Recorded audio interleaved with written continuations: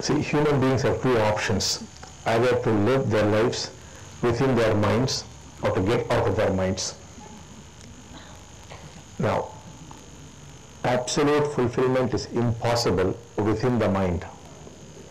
True fulfillment comes only when you quit the mind or you become free of the mind. That's when you are genuinely happy. That's when you know what love is. That is when you know, when you know what it is to live. Or we could also call that the life of the heart. When the heart has flowered, you are a totally different human being. You might have seen a lot of people doing social work. They would have money, they would be a bored lot of people, no meaning in life. Therefore, they would be going and working with AIDS victims, lepers, this and that. It's basically to escape their own suffering or because they have their minds are conditioned that it is important to do social work. That's one aspect. Then there are those for whom their hearts have flowered. They would also go and work with the AIDS victims, with the lepers, but for a totally different reason. Because they feel the suffering of the leper, the AIDS victim who is dying. So it's totally different. The one whose heart is flowered, he would never feel it's a sacrifice.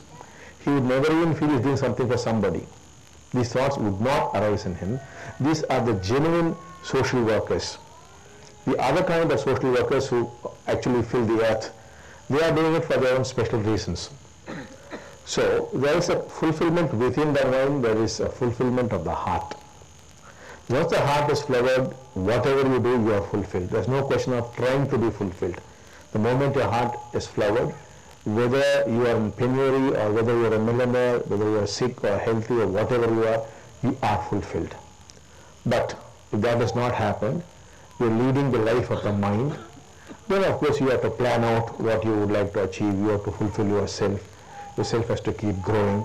So many things are there to be done and you might feel that you are getting fulfilled, but at no point can you say, I am fulfilled. At the moment that you say that, you become totally unfulfilled. You have to start once again.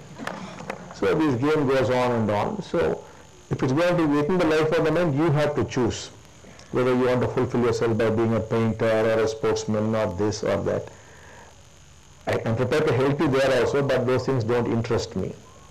My only interest is to make you truly fulfilled by making your heart flower, or what I would say, escaping the mind, which is enlightenment or becoming God realized.